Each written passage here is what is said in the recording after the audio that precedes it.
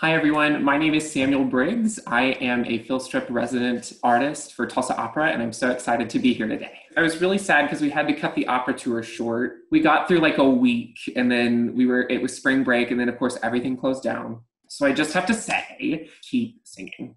Like, even if you feel like you do not know what you are doing, keep singing because especially in a time like this, you probably have a little bit more freedom to just sing whatever you want. And I say, I, your teacher may not, but I say, sing it. I was getting ready to do a production of A Little Night Music, um, Stephen Sondheim's Little Night Music, and we got to opening night, and the next day they closed us. I think the people who came that day, I think they were really impacted by that production. So much of live theater, it's like, oh, what are we going to do? But like, if we can do something like this to stay in touch with audiences and let them know that like the arts are still here and they're not going away, I think is fantastic.